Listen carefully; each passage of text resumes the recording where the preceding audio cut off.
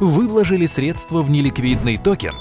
Как их вернуть? По статистике в сутки выходит 15 проектов, в месяц 450. За 9 лет существования криптовалюты создано более 49 тысяч проектов. В них вложено более 273 миллиардов долларов. Превратив каждый неликвидный токен в реальную монетку, можно засыпать ими всю Австралию. Количество людей, купивших токен, равняется населению пяти европейских стран.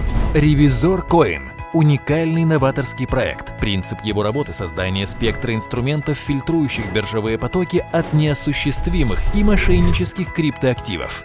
Вернем ваше вложение. Поможем оживить забытые проекты. Участвуйте в ICO Ревизор Coin.